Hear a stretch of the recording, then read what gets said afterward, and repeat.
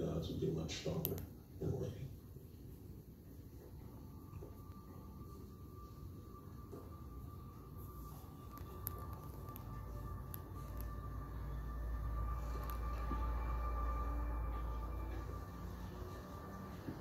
You know, I've, I've never been the type of woman to beg a man to be in his child's life. Michaela's father is alive.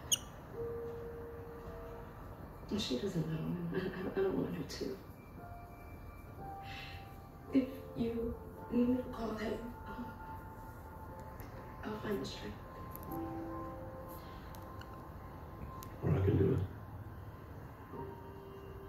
it. Yeah, if it, if it helps.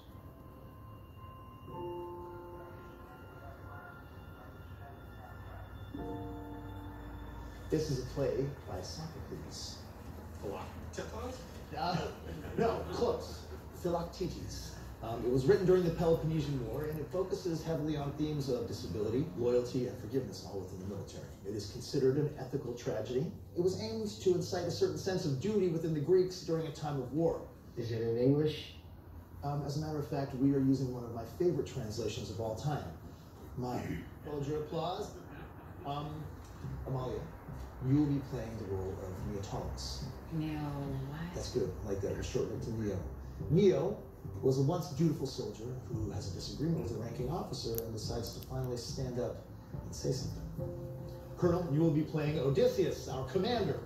But for ease of use, why don't we call you Otis? Otis wants to march his warriors on to victory, but he is confronted with the